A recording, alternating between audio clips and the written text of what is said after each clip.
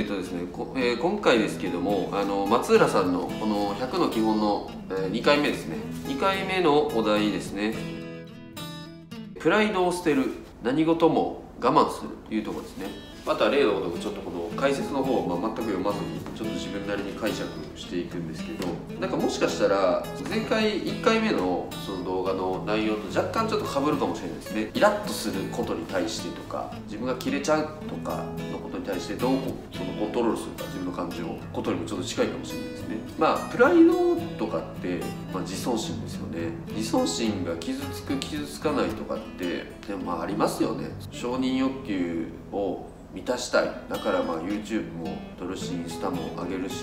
SNS もやっているみたいな話だと思うんですけど別に認められへんくたっていいしって感じですよね。プライドを捨てるっていうのは多分これあれですね。僕の中での解釈ですけどまあ見栄ですよね。見栄見栄見栄というかその他に他者に対しての俺の方が優位であるとか俺の方が優れているみたいなそういうところは捨てた方がいいのは間違いですね。ただプライドっていうのはなんか絶対的にこの自分の考えとかその例えば商品とかなんかそういったものに自信があるっていう話だとするとそれはすごく大事なことかなと思うのでやっぱまあ、こだわりの部分ですね。プライドというよりは、まあ、こだわりプライドの中でもなんかその見栄とかそのなんか自尊心寄りの話とかはそんなんはもうなしででなんかこだわりとか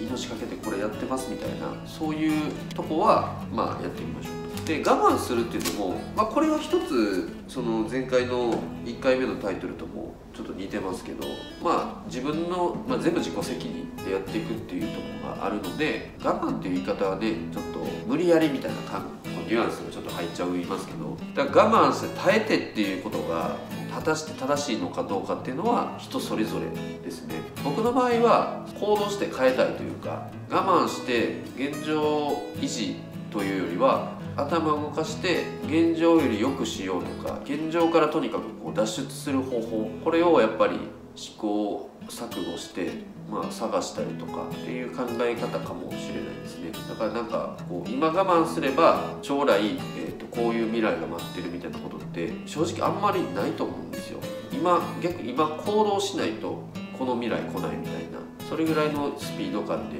今の世の中って多分動いてると思うんであと何年か待てば何々にこうなれるとかあと何年我慢すればこういうものが手に入るってもう保証されてない時代だと思うんですよね。だから芯はもちろん変わらないけどどんどん社会も進んでいくしその時々によってまた自分の考えとか変わると思うんで僕は一旦そんな解釈ですかね。